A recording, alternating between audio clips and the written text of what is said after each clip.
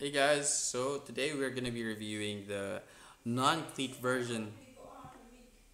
And I'm recording. Hey guys, so hey guys, so today we're gonna be reviewing the non-cleat version of uh, cycling shoes from Santic. So, so I got I uh, ordered this uh, back on December 13. It just arrived today, December 27. So it took them two weeks just to get the shoes on here. And uh, a couple days after I ordered it, I wanted to cancel it because upon checking the reviews and you know um, as well as the design of the shoes, I think it works great for a cleat version of the shoe, but not really for for uh, for flat pedals. And I'll let you know why in a bit.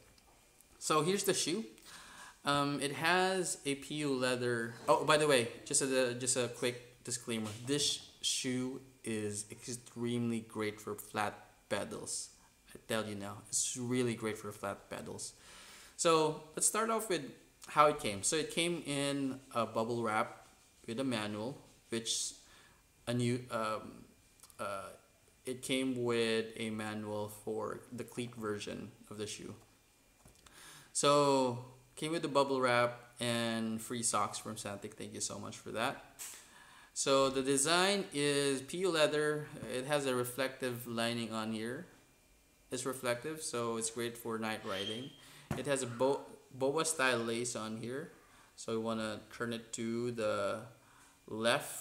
For the left shoe, you want to turn it to the left to tighten it. And then if you want to unlock it, just once you hear that click, you can just turn it on the, the other way around and once you hear that click it's gonna loosen it. You'll be able to loosen the the straps the wires. So it works similar to the boa straps. I, I think as far as the as far as I know the boa only has eh, if you want to loosen it if you want to unlock it you just have to pop it up like this.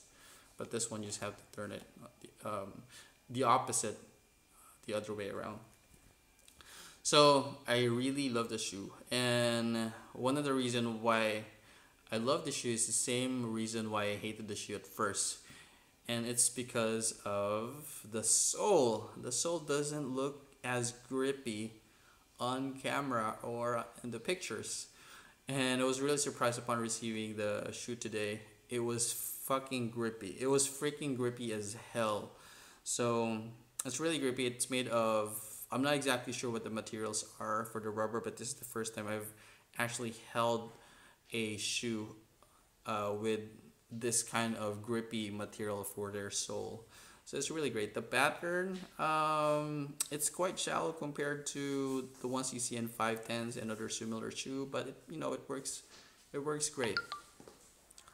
And the heel part also is made of the same material.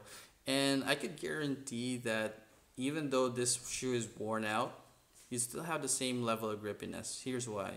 Because it's not only the outer layer of the sole is grippy as well as on the side right here. So I'm imagining that the entire sole is actually made of the same rubber material. Um, so yeah, breathable sides, breathable fronts, velcro straps on here to secure your toes or your lower feet even better. Um, here's the shoe tongue right here. I'm not exactly sure if it's called shoe tongue, but you know, it looks like a tongue, so I'll call it that. So Santic branding right there, reflective, uh, not reflective, but glossy. So this is the inner side of the shoe. It has the same design, air vents on here, air vents on here, reflective straps on there. Okay, so yeah, it's a great shoe. I got this for 3,400 pesos, which runs to right around um, $75 or $70 or so. So it's a really affordable shoe and they did not compromise on the quality. I've bought shoes at this price with much lower quality and Santic did not even comprom compromise one bit. But let's see, let's see, let's see how it goes. Let's see if it's gonna hold up for for the next coming months. But so far, I really love the shoe. It's grippy as hell. And again, I'm not really a big fan of it. I think what they can really improve on is maybe the shape of the sole. because this shape is ideal for running shoes and for cleat shoes maybe. But for flat pedals, you want the uh, sole to be as flat as possible, just like what you see on uh, the GR, the Shimano's flats and the 510s as well.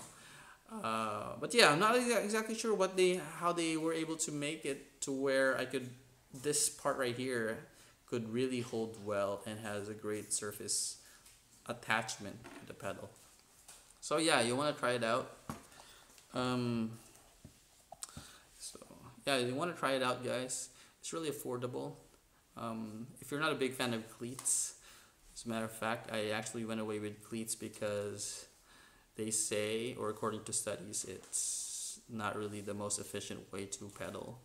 So yeah, um, try it out, and I hope you like it as much as, as much as I do. So subscribe to the channel. Click on the like like this video if you like it. Uh, subscribe to the channel. Click on the bell icon for future notification. See ya.